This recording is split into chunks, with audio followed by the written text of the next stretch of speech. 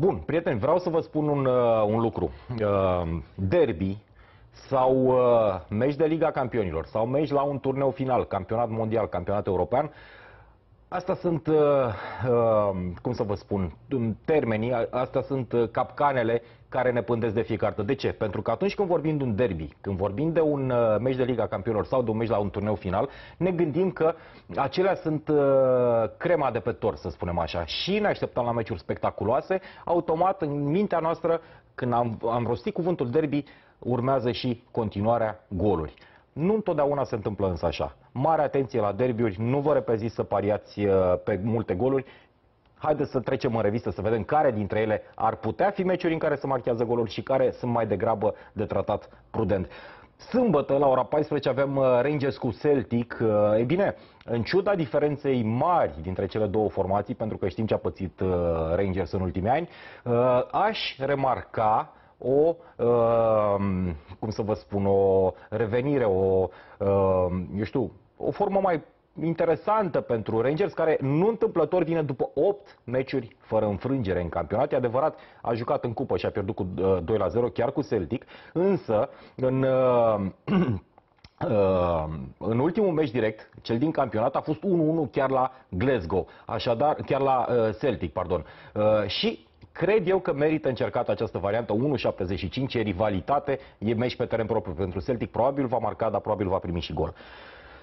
Sâmbătă, la ora 17 și 15, avem și Real Madrid-Valencia. Iarăși aici ne-am putea aștepta la goluri și poate și ambele marchează. E un pariu care cât de cât ne mai uh, ridică uh, cota, 1.55.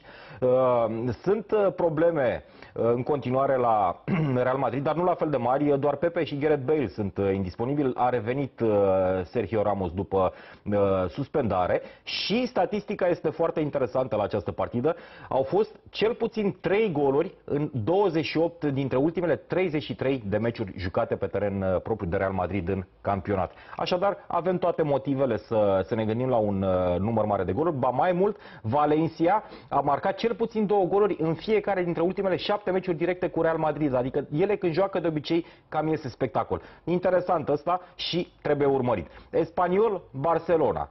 Iarăși un, uh, un meci la care ne așteptăm uh, să vedem goluri. De ce? Pentru că Barcelona are problema asta oribilă în apărare. Barcelona de la mijloc în sus ar putea fi o echipă ok, dar defensiva lasă de dorit și știți foarte bine că uh, au fost uh, multe meciuri în care Barcelona a primit goluri chiar și de la echipe mult mai slabe decât Spaniol. Numai puțin de 13 din ultimele 14 meciuri jucate de Barcelona au avut cel puțin 3 goluri uh, înscrise.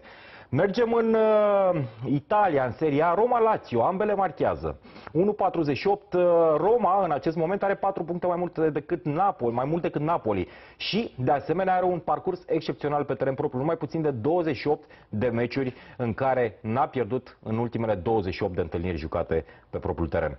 Uh, și cred eu că ar putea să, să forțeze în această partidă, mai ales că, așa cum ne aducem aminte, Roma are un palmares foarte bun cu Lazio, doar două înfrângeri în ultimele 21 de meciuri jucate pe teren propriu cu marea sa rivală din, din capitală. Mai avem uh, un pont, uh, gazdele să aibă cel puțin 5 cornere, o cotă de 1,45 și mergem la partidele de duminică. Acum uh, Inter-Napoli 3+, plus, o cotă de 1,53. Știm foarte bine că Inter se cam face de râs pe acest final de sezon. E fără victorie de 6 etape. Așadar, iată, Inter are nevoie de o masivă reconstrucție în această vară și Uh, de partea cealaltă avem un uh, Napoli care în ultimele 12 deplasări a bifat de fiecare dată cel puțin uh, meciuri cu cel puțin 3 goluri marcate. Așadar, evident este un meci de, la care ne putem aștepta la goluri, dar de asemenea și la o victorie a lui Napoli. Napoli care, vă spuneam, încearcă să o prindă din urmă pe, pe Roma și doi fără remiză are o cotă foarte bună, 1,65. Mergem mai departe în Anglia, la ora 16 și 5 minute, duminică, avem un Everton-Chelsea, uh, iarăși o partidă interesantă pentru că Everton uh, a marcat cel puțin 3 goluri în șapte din ultimele opt meciuri pe teren propriu. Așadar, uh, finalul ăsta de campionat este unul în care Everton pare descătușată, pare o echipă destul de relaxată și cred că am putea vedea iarăși aici goluri. Pariul nostru este pe gol în ambele reprize la o cotă de 1,68. Uh, Chelsea este și ea o formație care pare că are probleme defensive. În șapte din ultimele 8 meciuri au fost uh, de asemenea cel puțin 3 goluri. Bun. Și Uh, tot în uh, Premier League mai avem Tottenham Arsenal 1, uh, solist o cotă de 1,95. Tottenham e o echipă care evoluează excepțional pe teren propriu, mai puțin de 12 victorii consecutive în fața propriilor suporteri în campionat și de asemenea să remarcăm și faptul că Arsenal în deplasare face foarte des partide în care se marchează multe goluri 3 uh, goluri cel puțin în ultimele 10 deplasări. Mergem și în Franța, avem un Nice-PSG, o partidă care pare extrem de atractivă. Nice uh, nu are griji, nu poate pierde locul 3, dar cred eu că își va pune ambiția și va încerca să scoată ceva din această partidă. Mă aștept iarăși uh, și aici la, eu știu, o, un mic spectacol, să spunem așa, deși PSG-ul poate nu are are timp și nu e momentul potrivit pentru spectacol, dar cred că va trebui să marcheze de cel puțin două ori pentru a lua punctele uh, de care are nevoie. Încearcă să nu piardă legătura cu uh, Monaco. Monaco este pe, pe primul loc în acest moment, are și un meci mai puțin. El este la egalitate de puncte, uh, Monaco și PSG, așadar uh, PSG va lupta cu ghearele și cu dinții la acest meci. Bun, am început spunându-vă să aveți grijă la derbiuri. Așa cum ați văzut, pariurile logice sunt acestea, pe goluri. Și v-am dat și argumente. Da? Nu sunt, uh, eu știu, doar din uh, uh, presimțiri sau din inspirație, nu. V-am dat argumente, însă mare atenție.